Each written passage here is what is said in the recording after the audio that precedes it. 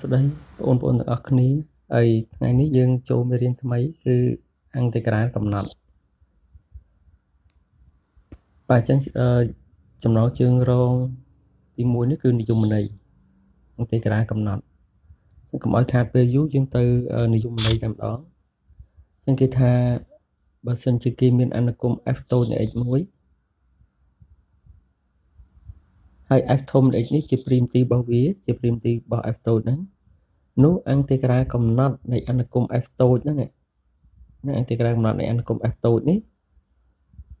ពី a ទៅ b គឺនិមិត្តសញ្ញាគេសរសេរបែបនេះនេះគេសរសេរបែបនេះនេះហើយជាអន្តេក្រាកំណត់ពី a ទៅ b នៃអនុគម f តូចហ្នឹងអញ្ចឹងគឺស្មើនឹងអា primitive អញមិញហ្នឹង f ធំហ្នឹងហើយគេដាក់ពី a ទៅ b គេនិមិត្តសញ្ញាគេកំណត់សរសេរថា b នៅលើនេះ a នៅក្រោមចេះហើយបានគេគិតលេខគឺគេយកចំនួន b ចូលក្នុង f(x) យើងបាន f ធំនៃ b ដក f ធំនៃនៃ a យើងគិតលេខហ្នឹងទៅតម្លៃលេខចំនួនដែលយើងគិតឃើញហ្នឹងចំនួនហ្នឹងគឺជាអឺ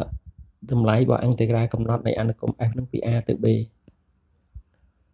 ជាគេថាផលដកហ្នឹងគឺវាអត់តាក់ទងទៅនឹងចំនួន t c ដែលយើង ថែមពីក្រោយអន្តេក្រាមិនកំណត់ធ្លាប់ដោះស្រាយរាល់ដងនោះទេឥឡូវយើងមើលអឺ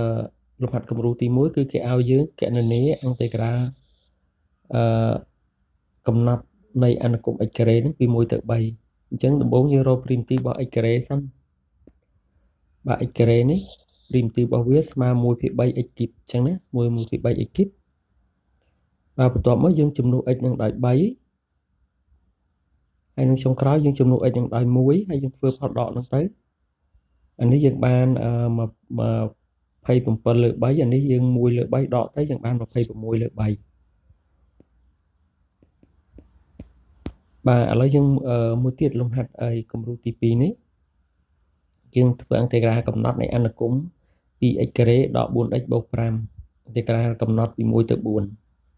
ចឹងយើងរក primitive របស់អនុគមនឹងសិន x ការ៉េ primitive វាស្មើនឹងអឺ x គីបលើ3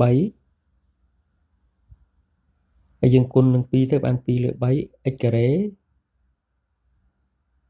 នេះនេះអី x នេះបាទជាងអន្តេក្រាទៅបាន x ការ៉េលើ2យើងសម្រួល2នឹង4សម្រួលនឹង2ទៅសល់ 2x ការ៉េ5នេះអន្តេក្រាបាន 5x ដូចគ្នាដែរបាទយើងចំនួន x នឹងដោយ4ចូលនៅក្នុងអនុគមនេះទៅចូលក្នុង primitive នេះទៅកន្លែងណា x នឹងដូរដាក់4ហើយនឹងបន្ទាប់មកយើងជំនួស x នឹងដោយ1នេះចូលក្នុងអនុគមដដែលហ្នឹង primitive ដដែលហ្នឹងយើងជំនួសទៅយើងបានបែបនេះហើយយើងដកយើងយើងគិតលេខឲ្យឃើញនៅក្នុងកន្សោមទី1នេះទៅឲ្យឃើញប្រមាណហើយទី2នេះឃើញប្រមាណយើងដកគ្នាទៅយើងឃើញតម្លៃរបស់អឺអន្តេក្រាកំណត់ហ្នឹងហើយ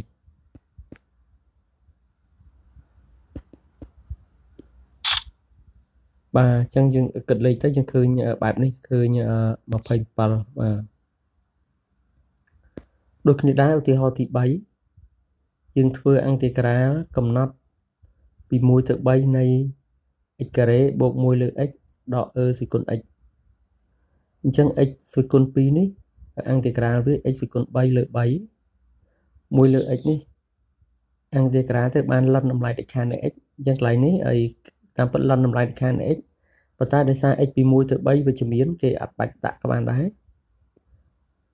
បាទ e សេគុណ x ហើយអន្តេក្រាទៅនៅ e សេគុណ x ដដែល